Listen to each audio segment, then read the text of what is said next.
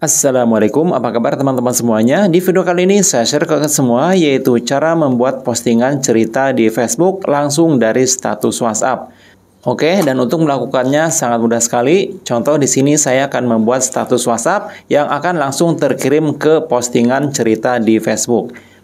Langkah pertama untuk membuatnya, pertama kita klik titik tiga di bagian atas ini. Setelah itu pilih privasi status.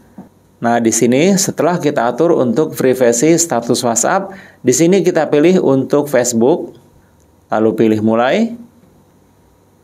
Kemudian silakan kalian login ke akun Facebook. Jika sudah, kemudian pilih setuju. Kemudian klik sekali lagi.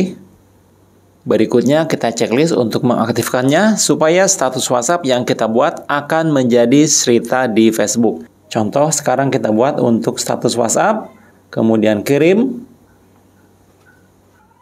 Oke, dan sekarang kita lihat di Facebook. Ya, ini dia. Untuk cerita Facebook sudah sama seperti di status WhatsApp.